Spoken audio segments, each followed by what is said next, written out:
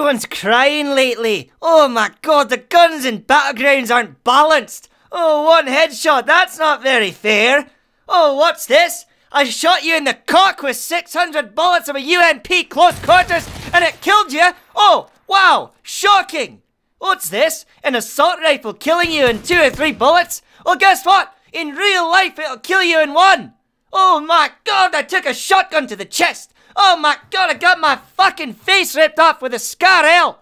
Listen to me and listen good. If you're running around in the middle of a field, giving away your position, and someone snipes you, that's your fault. You're an idiot.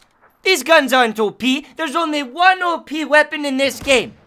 And shockingly enough, it's not the Scar, it's not the car, it's not Comp of the Back with an SKS taking out the biggest streamer in the world.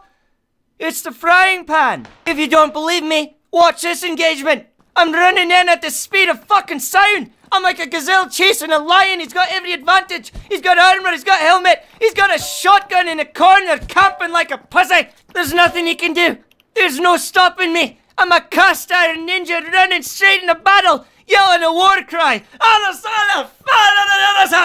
That's right, I'm going right at him, swinging, and all he can do is pray to the Lord that I don't swing one more time, turning him into a fucking carcass. Anyways, the frying pan's OP. I wanted to show you, and that's about it. Thanks for watching, you sexy sons of bitches. Thanks for watching, everyone. If you want to see another Battlegrounds video, check out the one on the left. If you want to see another Scottish video, check the one on the right.